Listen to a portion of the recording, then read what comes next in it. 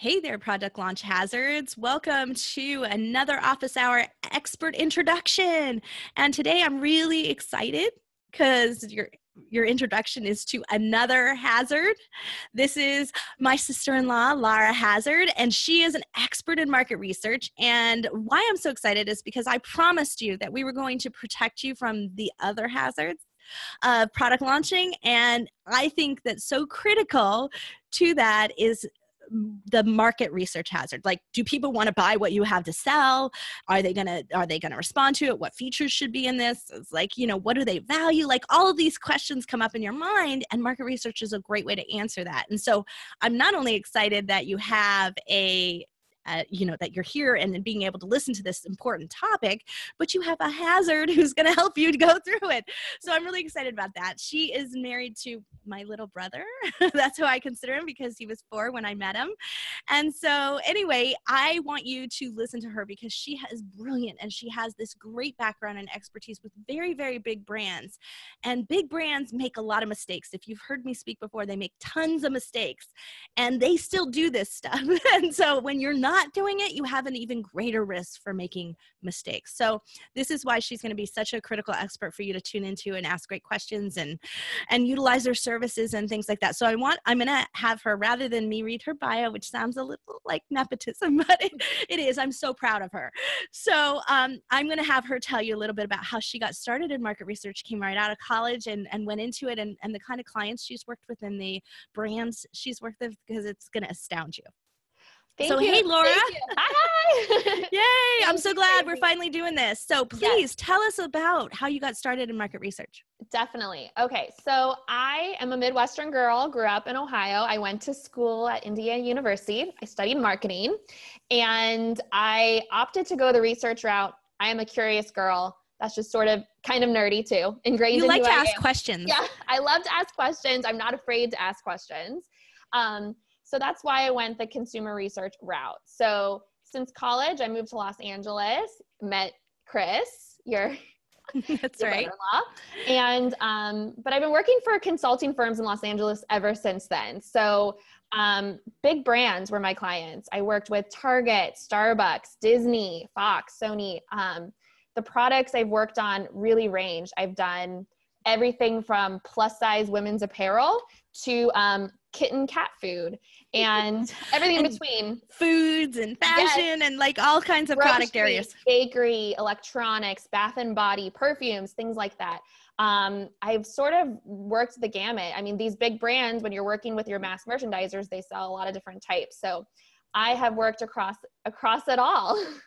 Well, and I think this is really important because you know, um, you know what goes on at mass market is really um, it's hard and a lot of them have what we, I call very frequently the shotgun approach. There's like, let's just throw it out there and see if it happens. But you know what? It's not cost effective for big brands to do that. And that's why they dive deep into market research. That's why they have a process for test marketing. So they also, they don't even tech, take what people say, they then test run it and see if people will buy it. And so having a process yourself is so critically important when you're a small business you're an inventor you're an amazon seller you're you know e-commerce seller in general and you've got very limited bandwidth to make a mistake Absolutely, so yeah. That's you know why it's more and more critical to ask the important questions. And so when we've talked before and you know i'm a little more in the know than most people so i want to do a little bit of deep dive on some of the definitions of things you're you're going to say over time. And because yeah. uh, that's my job to demystify what's going on with market research. Yeah. and so you know i know you throw out some terms called qual and quant. And i hear it all the time from other people in the industry and in big brands and in the know but what does that mean Okay, so both are important. So don't let anyone tell you one is more important than the other. Quant. Quant is your data, it's your numbers, it's your return on investment. It tells you you can size the market, it gives you something to grip onto and benchmarks. It's a starting point. Um, it's really important for brand health. It gives you it's data. It's talking to people and it's talking to a lot of people, at least 500. Um, and so that that's a that's a statistical size that works. It's I mean, you can go a little lower, but it's what I feel most confident in. We've done, you know, it all depends on lots of things. As most things in product launching, everything has a story and a different nuance. But 500 is where I feel comfortable. It's representative. We want to hear from every age, every ethnicity, income group, your different cities in the country or in the world. You know, start with 500. It's statistical and it's like you can extrapolate from there. Um, so that's your data side, and that's usually done with something as easy as an online survey. And it's just typing in, you know, a lot of this, maybe you've uh, had a touch point here with political polling. That's your data. That's an example. Um, or your satisfaction. You go to Best Buy and they say, hey, take this survey, give us a one through 10. That's quant in a very kind of basic way, but just to kind of put in perspective. Um, qual, on the other side, is just as important. So this is the people, the feelings, the emotions, the stories. So you can't necessarily make a um, a judgment call on qual alone, just like you wouldn't make one on quant alone. So qual is your focus group where everyone sits around the table and you have a moderator and you ask questions. It's also in depth interviews or even observations. Sometimes you have to stand in the Target store and watch people shop the aisle. Oh, and oh yeah, Tracy, I know you've done this. I do it. Um, I do it um, all the time. Yeah, and it's that's qual. So we can all say how satisfied are you with the product, one through five. And if I give you a four, well, how do we improve? What does that mean? You know, qual tells us the why. Here's mm. a little bit more. Here's the consumer voice. And this also helps for marketing messaging. So, how does your client or your prospective buyer talk about your widget well, we'll right because this is ha- this is what happens. We talk about this all the time on my shows. You get caught up in your what right? The thing mm-hmm. that you invented the, the the what you sell you're in the know on it. You have industry terminology you yes. have shorthand you have like you know you you call it these things. Um but that doesn't mean the consumer perceives it that way and that's not the terms they use and so that's where your messaging can really go wrong in that you think hey i've got the best thing here but if it's not communicating to them if they're not mm-hmm. perceiving it and so i i use this term i'm wondering how what you think of it is my definition of brand is is that while it's not what you say you are it's how mm-hmm. people perceive that you are. Absolutely. Definitely. I would say that's exactly right. Yeah. And so you got to check it right? Yeah.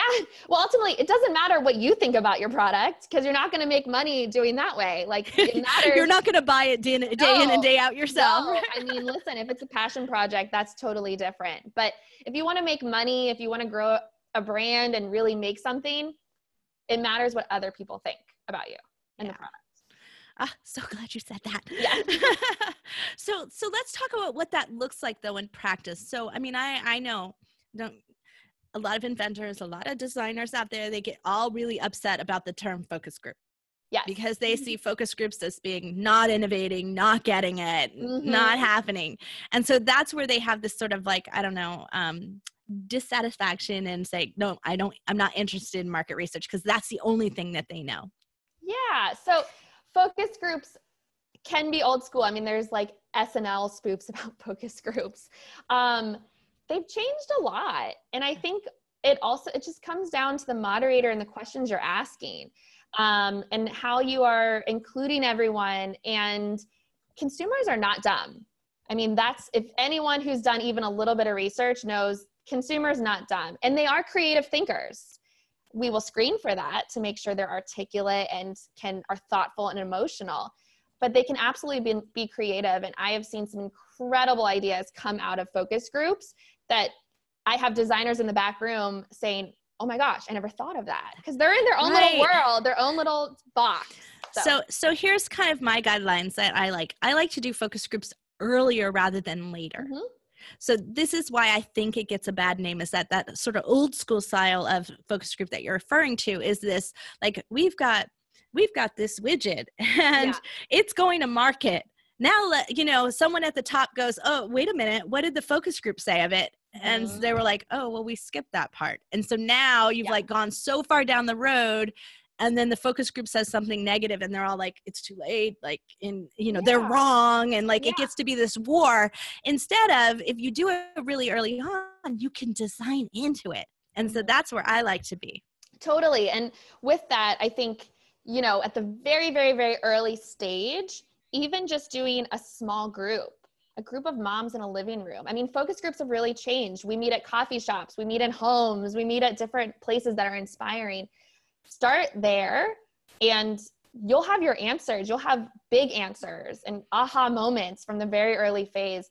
And if it falls flat there, there's a lot of work to be done before you go into prototyping and further into distribution and all of that. Yeah, so there are lots of different ways to approach that, but the number one thing that I always say is that you shouldn't ask your own questions. Mm-hmm. Tell us why that is from a from a a making market research significant yeah. and important. Tell me why that is.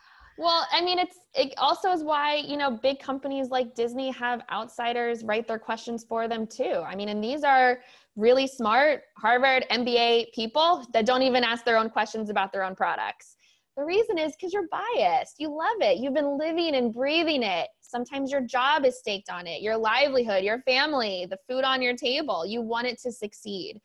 And, you know, when you write your own questions, first you're going to have a bias. You may forget about some of the criticisms that could be coming up. Um, and you also might be missing something, especially if you're not totally um, ingrained in the industry yet. If it's new and you're still learning, you might not know all the questions to ask. You might miss something. And, you know, especially when you have a conversation, you can take so many different tangents. And, you know, as a moderator, because um, I do moderate a lot of my own focus groups, sometimes tangents are bad, but sometimes they're really powerful. Yeah, so you know when to stop it and when yeah. to move on. Yeah, this is just uh, droning on here. Let me yeah. fix that.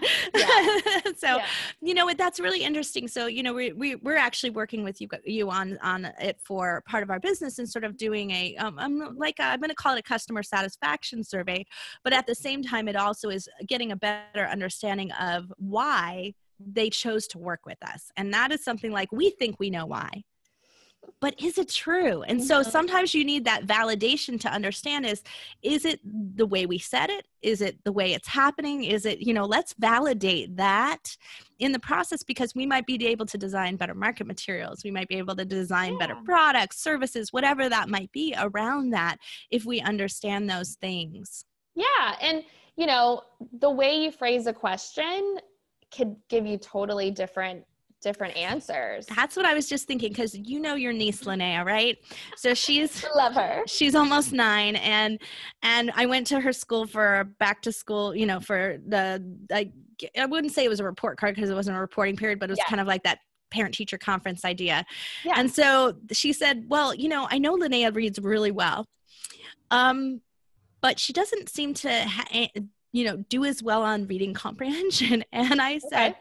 is it because she's not answering the questions or she's answering them wrong? Or is she just answering them in a different way than you imagined? And she yes. goes, yeah, she's kind of creatively answering them. And I said, I don't think it's because she's misunderstanding the question. Her perception is, though, that that question means something else. Yes. And that's what happens a lot when we when we pick our own questions. It's mm-hmm. like we're in this like, okay, we're an adult and we're choosing these questions for reading comprehension and we think they're at a kid's level. Mm-hmm. But not a creative and innovative kid like my daughter who's yeah. gonna go, yeah, you don't mean that. well, and I think that's a great point. Different ages perceive things differently, different groups, depending on where you are in the country you know, if you're designing something for a teenager and you're 50 years old, you may not know how to ask the question properly, or you might be not thinking about another piece in the context of their world. I mean, that's why we do both quant and qual because we want a representation of everyone and every thought process. Like, this is America. There are all different ways we construe questions. Yeah. But, you know, you want to keep things basic and open and um, have a have a direction as well you know this is an interesting kind of area because it also comes to what i'm going to call it bias in the data. Mm-hmm. We have a lot of bias in our data. I mean, I think it's becoming more and more clear as we mm-hmm. move into a artificial intelligence and AI world at which the data is very important. And if the data is already skewed and biased to begin with, then do we need to have the qual to kind of offset it and validate it and question it. And so that's really where I come into the world saying, hmm, that data is interesting. Yeah. But is it reflective? So this happened. Question really- everything. yeah question everything right and so i was writing an article it was a really interesting um, uh, research report that was put out it was about maybe a year and a half ago on brand perception Mhm. and how there's this gap between how big brands perceive themselves so procter and gamble johnson and johnson um, a target right Mhm. all of those level of brands and they perceive themselves and what their executives and organization think of themselves as what the you know how they rank in the industry or how they you know how cons- what consumers think of them and so they have this rating scale that they utilized and then they did that with consumers and so wanted to assess the gap between the perception that the internal has and, and the gap that the external has pointing out this perception issue. Mhm. and so there was this really like significant gap between how highly rated it was internally and how you know it was like i would say probably at least a, a 35 to 40% differential lower a- Wow. across every one of the different ways that which you were perceiving it like perceiving their service perceiving their quality perceiving their product line like it was Yep. a perception in all the categories and they were always different like that much lower than how they thought of them themselves Wow. and so I asked the researcher, and he was really like excited about it. He was really proud of it. It was really statistically like it was a big research. I mean, it was not small at all. Thousands. Yeah. Yeah, it was thousands. And so, Yeah. and I said to him, "Do you think?" And this was just my last question. Do you think that the that the difference is is that you know consumers are made up of eighty six percent or more women, and um, the executive I we know from all the surveys of retail and and big consumer brand executives that the mix is you know very very low and that they have a very small percentage of women there. Do you think there's a perception gap because of that? Did you filter out for gender? And he went, no, I'll, I'll have to get back to you on that. And he Yeah, never gotta did. That data. Right, you got to weigh that data, and so it was a bias in how they took the data too, Yeah. because Mhm. you they didn't screen out for that because I guarantee you when they did the survey and they said, "Oh, we surveyed a thousand executives. That's great," but were you not matched with the number with the same gender for? Mhm. Yeah, anytime you're doing benchmarking um, from the beginning, you have to know the context of everything. And, you know, just, you know, for that example, when you're looking at corporate employees to consumers, you need to make sure you understand the context is the same. And same goes with when you're looking across brands or looking at your competitors or comparing the different regions. All of that has to be taken into consideration. yeah there has to be kind of like balances that happen in that Yeah. or or shifting of it and and Yeah. and and uh, massaging the data a little bit and but then confirming it right Well, is and this that's- true and this is like such an important piece to research as well is the gut check is you are an expert in this product right i am not like if i am your moderator i'm not i'm not the expert you are and so there's always that piece after we talk to everyone collect the data. Does it make sense? Does it does it pass your gut check? Is it what we thought? We always go into every research study with an idea of what the results will be. You need to kind of know where like you're have a hypothesis? Have a hypothesis. Absolutely. And what story do you think we're going to tell? And listen if it's totally different that's an interesting finding. But you have to ask why then. There's more red flags. So it's always good to kind of have a, a gut check. Yeah. is this right? Or is there an error? I mean that happens too. Yeah. Oh yeah. So i mean that that is so so true. So you know one of the um episodes that is going to be coming up is what i call the which is the 80 20 color rule right Mhm. so you have uh 80% of your volume come from 20% of your colors it's the same thing with any Yep. product line right i mean this Mhm. is it, it- yeah anyway it's but the issue is is that what happens when you remove the rest of the line of the colors and you only put out Your those 20% has changed. your context changes and that's Yeah. really problematic so if you're going to if you're thinking about doing something like that in variables you this is something to communicate to your research team about because if if it works in one in one scenario but then you remove all of those pieces Mhm. does it still work that's always a good good question to ask so one of the the ongoing things that i like to do is um, I clean up people's product lines all the time. So like sometimes yeah. they get to thousands of SKUs and they're like panicked too about many. it. Yeah. Right. Too many about it. And so I have a good experience to know which ones, if you pull them out, the whole thing isn't going to tumble down. Yep. But I still like to have that gut checked. And so when we think that, and when they say, gosh, this one is so important. And, you know, you can't take this one away. And I'm be like, but it's draining your bottom line. like, yeah, are you sure? Right. And so mm-hmm. that's the time where you should go in and you say, so if you're good as the person that like we built our foundation of our business on this, let's mm-hmm. confirm that it's not just because your heartstrings were in it and it was your baby and it was the first one. Let's mm-hmm. confirm that that's really the perception of the community that you're serving. And if it's not, and it's hurting your bottom line and yeah. it's, and it's draining your resources and adding complexity, these are the kinds of things that you want to check. So there's more than just launching a product that you may yeah, want to use research for. I mean, it's a constant. We it's a movie it's a moving target. We have a a checkpoint in time is when we do the research and report out.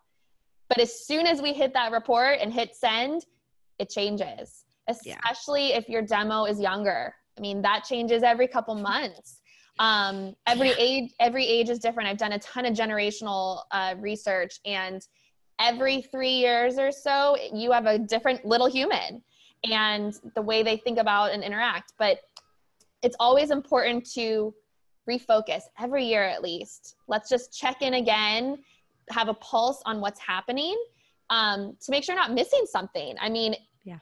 time goes by your competitors are coming in yeah. gotta know about it. yeah, yeah, it's different. So, you know, this is a, one of the things. So people ask me all the time, well, what, what kind of market research services do you offer? And I support market research services, but actually, if you want to know, like, I'm just going to subcontract to Laura. So you're going to get her anyway. So you might as well go direct to her if you don't need me. So I'm, that's where, that's what's going on behind the scenes here. But we do three types that we really recommend for, um, for, I'm going to call it startup brands. Mm-hmm. So for if you're a new brand, if you've got some new new products going in, we recommend three things and then we recommend a different set of things if you're an established brand eh, that's growing though, you're on a fast growth or in a fast growth industry and I'll talk about the second. But the first three that we do is like we really want to make sure that you've tested that people will actually buy whatever it is. So whatever questions you're going to ask, however you're going to do it, whatever the most low cost way is, we need to test buying of something, not whether or not somebody likes it Yes. Like is only likes great. yeah, but will they plunk down money because you need to build a sustainable brand? Yeah. So it's really so everything centers around trying to get those answers as early as possible and what are the key features to make that buy happen. Mm-hmm. So if we need to ask those early on, then we do that. So th- that's where all the research we we do in the initial stages uh, circulate around testing that out. And sometimes that's focus groups. Sometimes it's just we don't have a prototype. We don't have a mm-hmm. product to show anyone. We can't ask them questions yet. So we just need to ask them around the idea so that's where we you survey. know survey. host a host a little you know kind of very targeted market survey though. So we're always yes. really specific. Then the second thing we test is like let's say we do already have a product that's pretty refined and decent on our idea and we feel pretty strongly that we've gotten good indicators along the way. Now we want to make sure that we're focusing on the biggest right market. So like mm-hmm you know is this just moms of preschoolers or is this like grandparents? You know like we want to make sure that we understand that who and and we have this idea lots of people go into it saying oh everybody will buy it. Like everybody needs it. And i can tell you right now that's not gonna can it you cannot spend the money to the budget. Yeah you don't have the budget to get everybody mm-hmm. to see it to buy it. So if you're going to focus your dollars and be focused, let's go with the market that is most likely to buy it first. And so dialing in and finding that, that's our second thing that we really try to do. What do you think of that process so far? Sounds good. Sounds good. Okay. Totally. And then I'm, the I'm third, yeah. And then the third piece that we do is we include some kind of survey i'm going to call it a customer satisfaction registry card like warranty card if that's what you've got in your thing and we want to make sure that we add really good questions to them or or post purchase survey if you just email it whatever that might want to be. We like to dial in questions around that um, once we get out of the testing phase of it we don't you mm-hmm. know testing we're usually like we'll pick up the phone and ask people because we know the handful of people who bought it but but beyond that we want to do something that's a little more ongoing so that we can maybe track over time are answers starting to change are they the same are they different and but getting good questions is a really critical part of that so that's Absolutely. where we would utilize someone like you to put in and that's actually what we're working on right now is setting in those initial set of questions that happens with every client we bring in Definitely. Yeah. And listen, I know I threw out the 500 earlier, but 10 is better than zero. If you know, we reach we reach for the stars and see 10 who are not your friends and family Yes. 10 honest people that aren't going to care if they hurt your feelings. But um 10 yeah. people who plunked down money like really even better because they obviously made a money. purchase decision right so yes, yes, definitely. Yeah, I think all of that is right on. I mean, you're Yeah. still in the early phases. Getting some type of data, you know, if you, it's only 10 people, that's considered qualitative. But like I said earlier, still very important. It's still still very useful and impactful. Yeah. So then if we move on to people who are growing brands, so let's say they already are in a really great niche, and I'm going to use because you mentioned Starbucks before, they're in the coffee niche. Yep. So, okay, like, because we all know, we all know coffee and tea. This is easy, right? So we can talk about that. Everybody, you know, everybody kind of gets that idea. So, so we're already in this niche. We already have market. We already have people buying our product, whatever it is around coffee, right? And so now we're in that, and now we want to really, okay, are we getting useful data? Are people filling out the warranty card or whatever that might be? You know, the, our survey is, is plugging away. Is that survey still serving us? Let's refine that. Then the second thing we do is we do a much more uh, concerted market study. And so that's where we study the competitors. What are they doing? What are the features? What are they, you know, what are they saying about their products?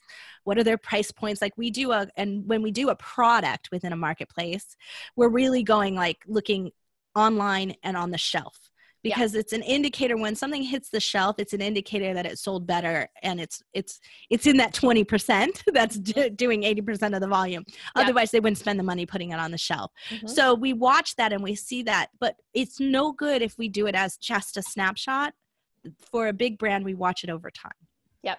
because Totally. micro trends happen seasonal trends happen and overall though we want to see if the market is shifting into a particular perception and things and we want to be aware of it rather than following a trend that isn't You really there. Yeah. Yeah. You want to be the be- yeah mm-hmm. we want to be ahead of the the things that are important but not at the things that aren't so then when we see these micro trends or see stuff happening now we take that we design into it something that's representative and we go out there and we do a good focus group and market research and validate is this really a like flash in the pan and by the time i get this to market it's going to be gone Mhm. or is this something that hey it's tapping into an opportunity gap that people are starting to merge on and and that's where we start to find ways to stay innovative or grow Yeah. our product line more more um, in a smart way that serves the consumers we have and will grow that base of consumers Yeah, definitely. I mean, people get bored now. I mean, it's not, things are changing. And as much as they love your product, A, to start, they're excited about the next one or the, the new finish or the new color, or whatever is going to be different. I mean, people get bored very quickly.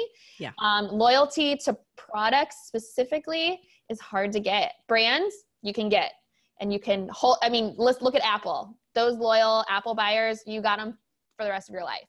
But um, product loyalty is a little bit harder than brand. So I like your point. Yeah. Especially if we're adding colors or adding other products, we need to know a little bit more and we need to stay current. So everyone stays excited about what's coming out.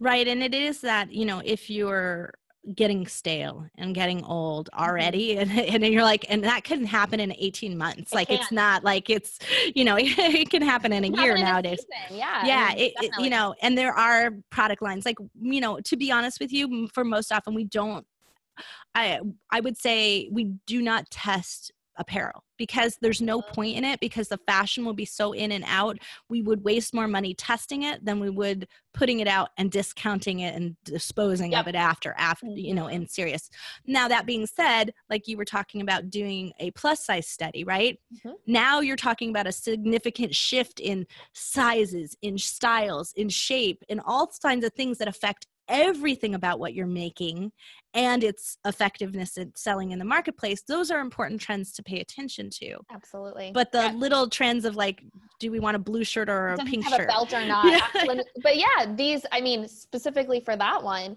um, there there are tons of influences happening culturally, politically, celebrity.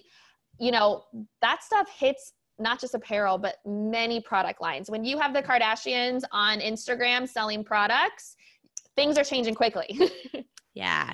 So now here's an interesting thing. So I was talking about that. I'm curious on your thoughts of it. So I read this article about how Kim Kardashian's doing her new her own line. Mm-hmm. And she's doing her own line because she got sick of hawking other people's lines because they weren't they did they weren't good enough or they weren't um they didn't really meet her needs mm-hmm. and um, and i thought that that's really an interesting trend happening and we see it more and more because i do get a lot more celebrities who contact us and you know are looking for that kind of thing for doing their own label yep. and it used to be that in order to do their own label all they did was take the regular one and slap their name on it right and so yeah. um and so we, they got like i guess it, we stepped up into this place at which influencer shift was i'm just going to show this off. I don't even have to stick my name on it because my name being associated with it is good enough. I don't and have now, to do ads. I don't you know yep. I don't have to do all this work so that'll be yeah i'll make more money this way and it'll be easier on me. Mm-hmm. but it gets to a stage at which what's happening is is that actually the celebrities aren't making enough money at it the brands aren't getting enough value for it and it's mm-hmm. actually starting to fall apart. And so now these celebrities are going in but what i'm really concerned about is that they aren't doing the good research behind it no. and they don't really understand they they're like i have a million followers. Well how do you understand who the ones that are going to buy out of that million followers? Who's going to convert? Who's going to care? And do you really understand what they want? Because you know yeah i pay yeah. attention to you but you know you've got millions of dollars and your value is very different than my value and it's not just the cost of the product it's what the product does for me right? Definitely. I mean that's the when you see the the influencer selling products it's very easy to get your 30 million subscribers to buy it once. Yeah. are you going to make enough money to sustain that business with the one time buy i don't know every product's different but that is what they run into there's not yeah, they have an established brand and everything they do, their followers will listen and do as they say. But most of the time, that's not enough to sustain a brand, to sustain a product on a shelf. Um, I mean, you see that a lot with the perfumes. Yeah. So whenever um, a celebrity comes out with their perfume, there's a new one every year because people aren't buying Britney Spears' Curiosity anymore. Yeah. They're buying her new stuff every year, but that original one is done. You know what's so interesting is what we don't what we don't survey enough of at big brands and anywhere is customer attrition. Mm-hmm. Why someone didn't buy. Mm-hmm. Or why someone was buying and now stops buying. So I, I, saw this really interesting video with Isabella Rossellini, who I absolutely adore. Mm-hmm. Um, she's amazing and beautiful and smart and all of these things. And she used to, when I was yeah, much younger, um, she was um, the representative for uh, for Trésor, the perfume line Trésor, which is um, Lancome, right? Lancome, I believe. Yeah, yeah and so um and so she was their representative and it was like and i you know that product that that company was kind of to me like my mom's company like it was old mm-hmm. to me at the mm-hmm. time but she made it she made it young and she made it relevant she made it she gave it this quirkiness that i like mm-hmm. appreciated about it and i thought wow if they can pre if they can put someone on there who's not like photoshopped perfect like you know this was early photoshop days but yeah. you know photoshop perfect then then wow that brand has some values in it that I like. Mm-hmm, mm-hmm. And then she hit actually my age right now. Yeah. And they dumped her. Yep. And so, you know, so we were, I was like, how could they do that? She's still beautiful. She's still funny. She's amazing. No and they and they told her that she was no longer relevant to their audience. Mm-hmm. And so, um, but they just recently asked her back, and she said, and she said to them, um, "I would like to meet with you."